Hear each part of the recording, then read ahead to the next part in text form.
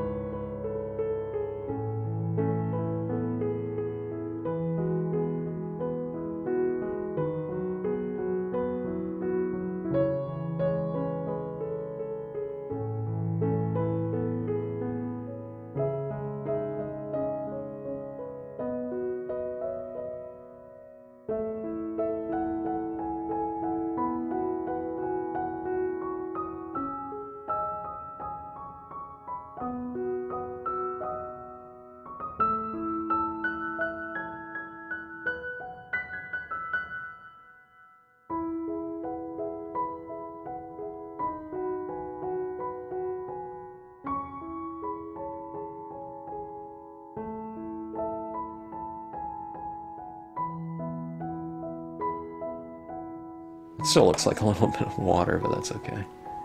So I have water on my road. Okay. Alright. So a lot of fun stuff. And I'm finding out new things all the time. I'm starting to run out of photographs, so I'll have to move on. Or I'll print out some of my own ones.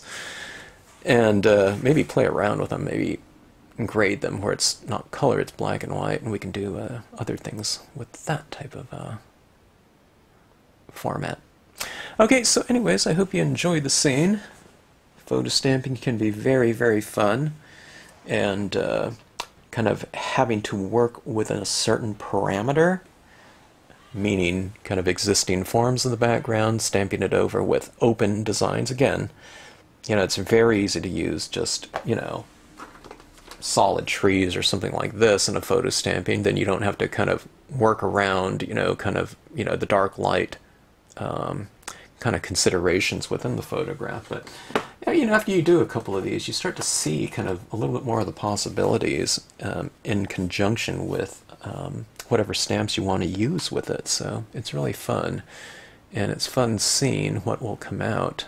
Um, you know, from something that you didn't have control over from start to finish, you know, as in working on a white piece of paper to the final result. And I'm finding that's really fun, and uh, I don't know, I don't think any creativity is lost. In fact, it might kind of uh, kind of spur, you know, your creative energy to uh, kind of come up with um, different solutions that you normally wouldn't have had you not been working within that given parameter. So thanks again for watching. Thanks for tuning into the channel. If you like this video, hope you like, share, and subscribe.